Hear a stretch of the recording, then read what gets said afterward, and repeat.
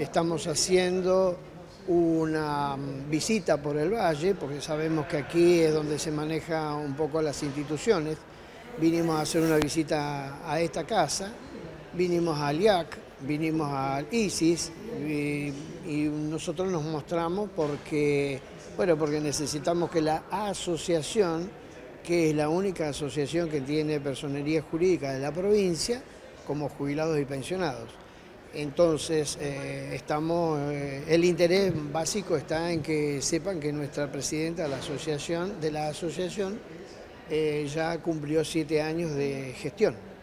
Y bueno, creemos que hoy el señor gobernador, vicegobernador, que nos conoce, y el señor gobernador, que tuvimos una reunión antes de ayer, también ah, tiene conocimiento de la, de la entidad. El fin de la asociación fue justamente agrupar a nuestros jubilados y pensionados municipales de Comodoro Rivadavia para tener eh, que tengan una, una asistencia en todo lo que necesiten, ya sea tanto en la parte institucional, porque por ahí de pronto se necesitan algunas cosas que, por ejemplo, del instituto y ellos no tienen para dónde ir, cómo hacer el trámite, nosotros estamos justamente para hacer eso asesorarlos, acompañarlos y bueno, y crear actividades para todo lo que sea actividad para los, este, para los tiene?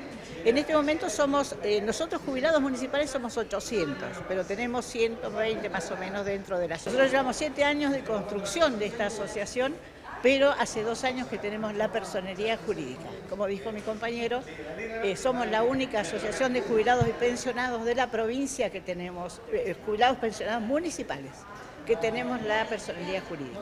Bueno, el desafío por ahora es tener la sede propia, este, porque estamos alquilando y tenemos el aporte de los jubilados nuestros es muy poquito como para poder este, solventar un, gran este, alquiler. Pero bueno, todo se va a conseguir con esfuerzo, como venimos haciendo hasta ahora.